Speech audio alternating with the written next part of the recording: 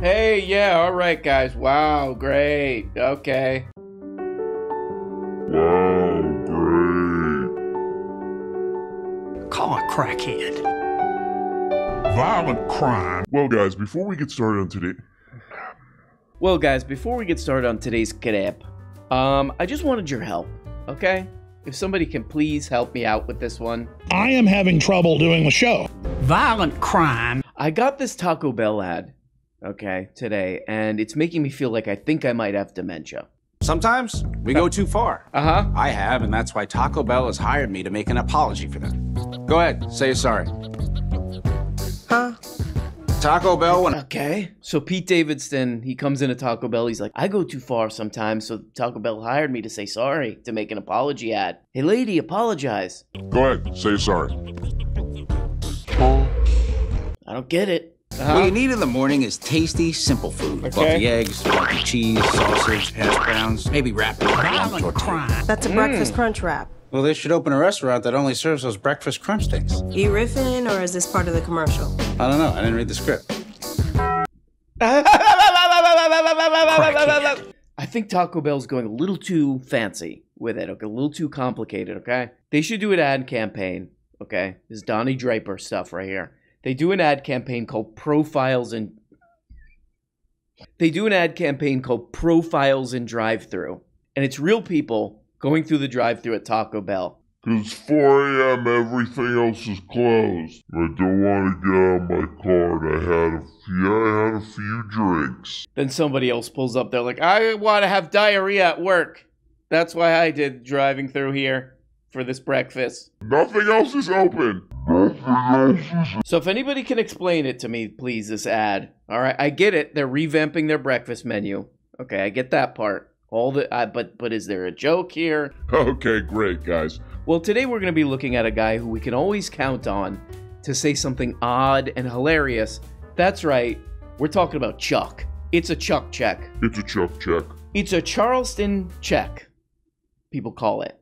Welcome back, everybody. Email us freedom at charliekirk.com. Hi. Nathan from Georgia says, Charlie, I love the show. I Yeah. look to you for clarity, moral clarity, especially on political issues. I'm a little torn. Right. It seems like the Herschel Walker campaign against him is working. As a Christian, I don't know how I feel about all of it. I'll probably end up voting for Herschel Walker. Mm. Oh. Can you help me understand? Yes. Okay.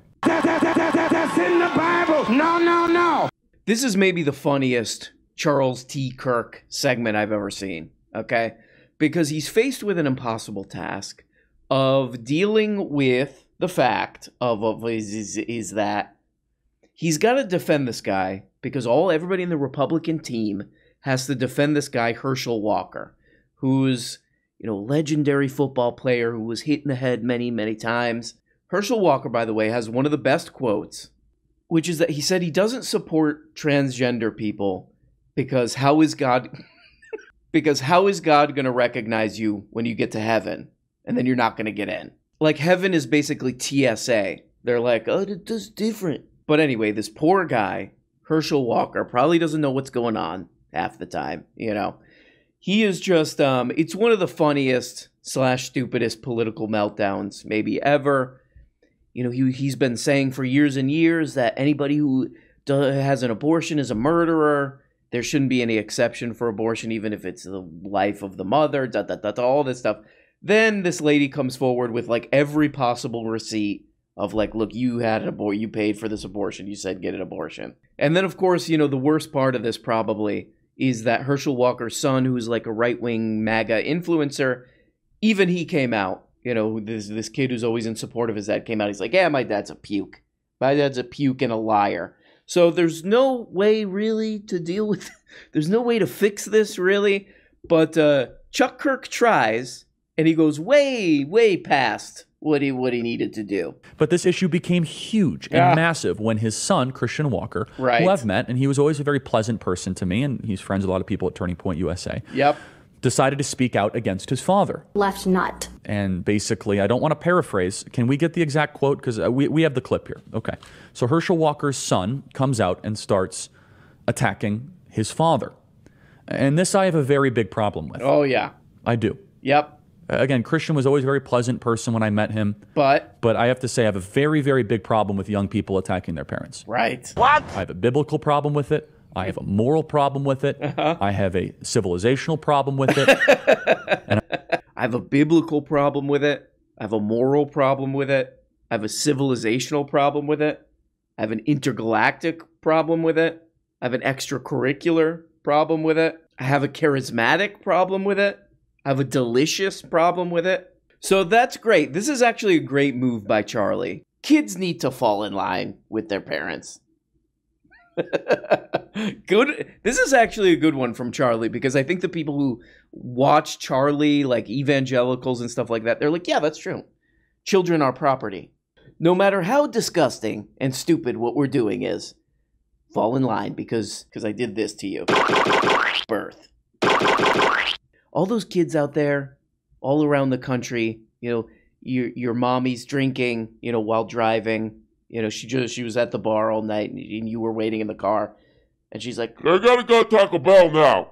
she's looking at you you're like going 60. She's like, we got Taco Bell now. You know what I mean? Pete Davidson told me they have breakfast now. You know, what's that? Yeah, I didn't know. I didn't understand the ad either, but we're going. You know, and, and the mom swerving around. You know, you still need to honor that parent. Okay, saying, hey, maybe do, drink some water, pull over a little bit. No, okay, you, that's your parent. You honor that parent. Okay. If my father, Herschel Walker, stopped lying and making a mockery of us. Mm. You're not a family man when you left us to, and excuse the language, bang a bunch of women, Whoa! threatened to kill us. Jesus, Charlie. oh No, the point that I'm going to make is I have a very, very big problem. Whoa, gee, Charlie, calm down. Jesus. I have a very, very big problem. with rushing to social media and immediately attacking your parents. Wow. It's the only one of the Ten Commandments that comes with a promise. Ooh.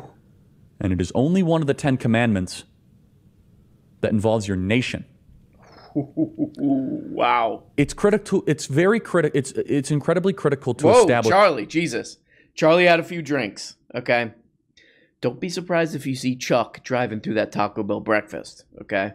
Right. Again, honoring parents is a conduit to honoring God. That's in the Bible. The vehicle to God is honoring right. first your earthly parents. And again, you don't have to love them, no, but you must treat them very heavily. exactly. You must treat it very seriously, is another English synonym, synonym to say this. okay. So yeah, I just have a really big problem with these kids, the way these kids are acting, these kids dishonoring their parents. You know, this 23 year old uh, who told the truth about his uh, horrible father. I just have a really big problem with it. And not only that, I think he's not getting into heaven, bro. I think he's not getting into heaven, dude. Now again, he he totally has the right to say whatever he wants. Okay. But I think his little ass is not getting into heaven on account of this. On account of that he told the truth. It's also funny because it's like this kid kind of told the truth for once in his life. like before this, he was trying to do the MAGA influencer thing and kind of ride on his dad's uh, coattails uh, on that. And the and the one time that he's like, you know what, I'm just gonna tell it like it is. They're like, that's easy. You're not going to heaven now, dude. Now, I'm going to talk more about this after the break because I have a very big problem with a theme I'm starting to see. Mm. I see it on TikTok a lot. I Oh, see it with yeah. this instance. I saw it with Kellyanne Conway and her daughter. Right. And I'm not saying the kids do not have legitimate complaints. Okay, wow, that's very generous. Okay, end of sentence, right? I'm not saying that. Right, great. But is this treating your parents heavily? Is this honoring them? Okay, I'm not saying you have to feel so- a certain way. Okay, so they're not allowed to say those things. Okay, got it. What I'm saying is you must honor the hierarchy. Okay. Because if you don't, well, we know what happens. oh yeah, Every totalitarian regime undermines parental authority. Every single one. Yeah. And I, there it is. Maybe the greatest Charlie Kirk moment of all time. Authoritarian regimes, they're terrible. Now blindly and unconditionally fall in line with the authority figure. I'm Charlie Kirk. Have a good one. Bye bye. You know, there's something that I didn't know about Chuck. This guy Chuck Kirk. Uh, on I don't know if this is true, but it's on his Wikipedia. In senior year of high school, Charles Kirk created a campaign to reverse the price increase for cookies at his school. That's adorable and also kind of annoying. But God made the commandment for a reason. You know, someone asked the other day, they said, Charlie, why should I honor my mother and father? And I felt like saying, because God told you, which is true, which is my answer for it. Right. Sometimes it's helpful I mean, you might even say, that's in the Bible. No, no, no, You know, a lot of people miss the seventh commandment. I bet you can't think of it right now. You know, but if you open your Bible and you look uh, uh, look at it, it says it clearly states. Generally speaking, Chinese people look Chinese. Helpful to know that God told you to do something. But if that does, if that's not persuasive for you, how No, about this? not. One day you would want to be honored too. Ooh. Oh, Maybe there's more to the story. One day you would want to be honored too. exactly, man. Such a good point. Oh my god. Oh my god, such a good point by Charlie. No. I'm trying not to cry. Such a good point by Charlie here. You know, it's like, you know, when you're a kid and you have a horrible parent, you know, just a piece of garbage parent, keep your mouth shut so that one day you can be a horrible parent. And then that kid won't call your ass out on it. You know? This is not rocket science, man. Come on. Violent crime. In high school, Chuck Kirk was known as the Cookie Man. You know, he would often, after school, he would go to get his books out of his backpack, and there's just a, there's just a matted cookie just at the bottom. He's like, "Ooh, I forgot about that one. I, that one must have dropped below it." Yeah, let's go. Here we go now. Get that guitar. Patriots love him. Oh, come on. Leftists, Patriots love him. Leftists hate him. Nobody ignores him. It's the Charlie Kirk Show. That's one of the best things about the Charleston show. They paid some like radio voice guy to say the stupidest stuff in between the. He's like, "Buckle up, morons!" Like literally, he says stuff like, "Buckle up, it's time for the Charlie Kirk show." If you're not a patriot, do not apply.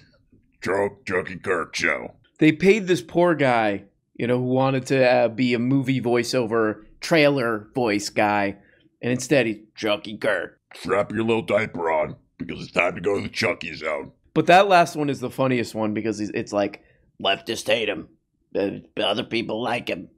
But one thing you gotta agree on: you can't ignore him. Um, that's kind of funny because Charlie Kirk, uh, people can definitely ignore him on YouTube. He's not doing well on YouTube.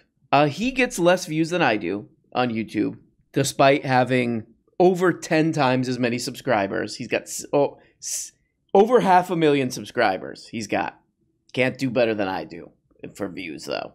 That's what happens when we pay for views, Chuck. You probably saw the news yesterday. Uh, yeah, I did. Reports from the Washington Post shows that the Department of Justice says they have enough evidence to indict Hunter Biden on tax and gun charges. Wow. I had multiple people text me this story. In fact, I had some people message me at very high levels in media, in- including some office holders saying, finally, Showing off. justice. And I texted back and I said, How could you be so naive?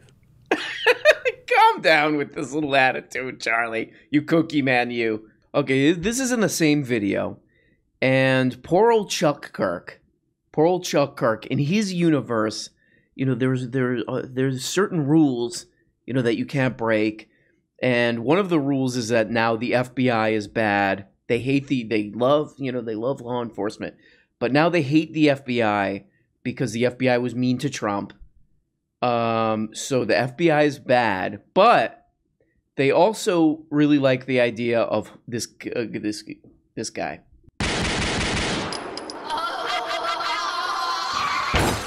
Hunter Biden. They like the idea of him getting in trouble. So the FBI says, "Hey, he might be in trouble." They're like, like "Hmm, hmm, hmm." I mean, I don't know why he feels the need to explain any of this stuff. He could just come out and be like, "Hey, you know, a trans person is trying to take your house or whatever," and he'd be fine. But he feels it necessary to uh, come out and go, go through all the motions on this one. And what he comes up with is pretty great.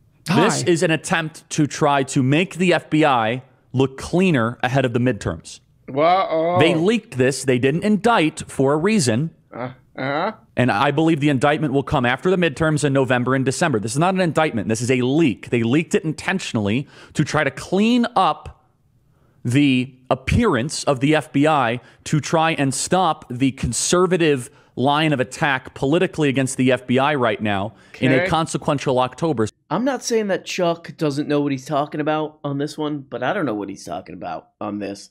I guess the, so. So the way that he's dealing with this, we hate the FBI, but now the FBI is telling us something we like, but we still have to hate them. He's saying that this is just for the FBI to clean clean up its image for the midterm election. But the the only problem I'm seeing with that is they don't vote for the FBI. We don't vote on whether or not we don't vote on whether or not the FBI. We should be able to vote on the FBI, but we, but we don't. So very much like the Taco Bell commercial. I don't get it. Okay, but well, who's to say? Who's to say? No further ado. Yeah. The man, Charlie Kirk. Woo! Come on, everyone. Cookie Mane. Get his ass out here. Let's go. Perverts. So this is another thing that Chuck Kirk does all the time is he goes to these really intense, re- as you're gonna see, very intense evangelical mega churches. So let's start with size. I will play the pro abortion devil's advocate. Okay. But Seth, the fetus is so small, and therefore small, not a lot of moral worth. So why do you want to protect something so small? Right. Yeah, well, men are generally larger than women.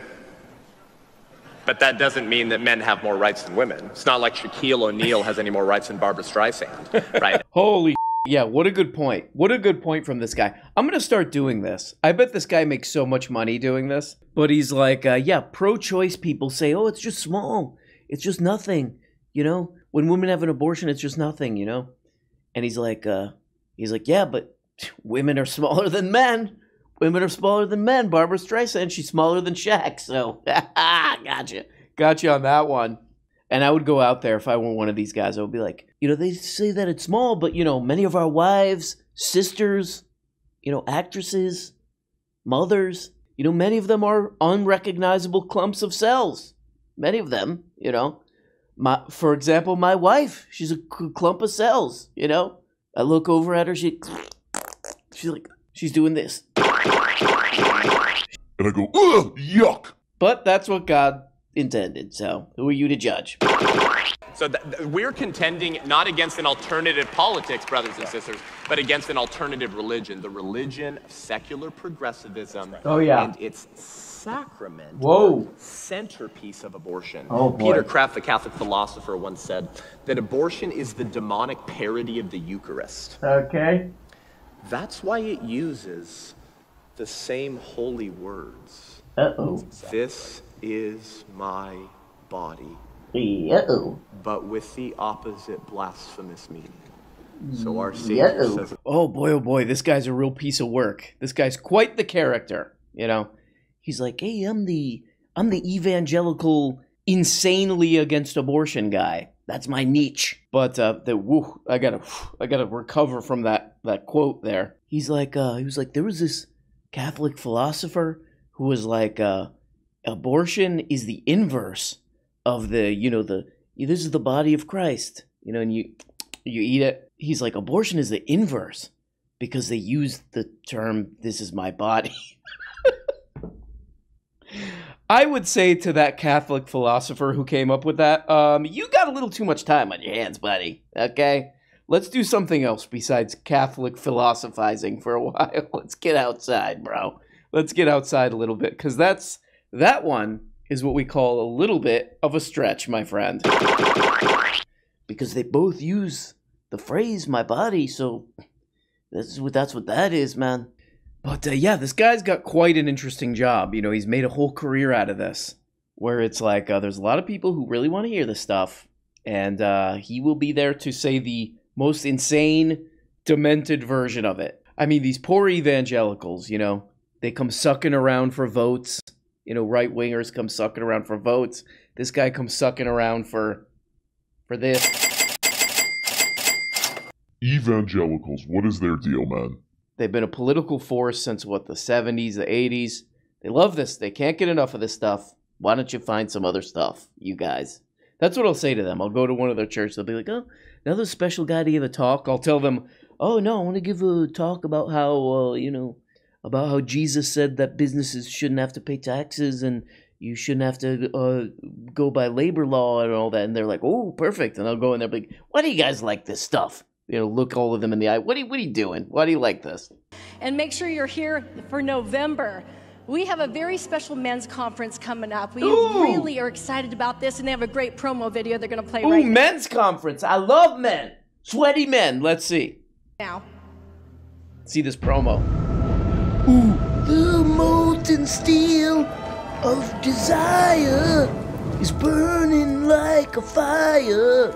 Yeah. And the tribe men present their attire. In the beginning of time, the 2001 baby was born to a mother who did the ET finger to them.